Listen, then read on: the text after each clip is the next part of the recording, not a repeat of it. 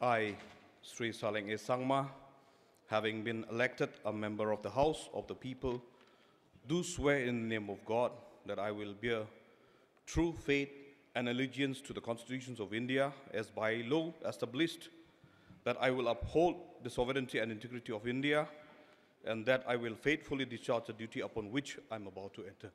Safe constitutions. Thank you.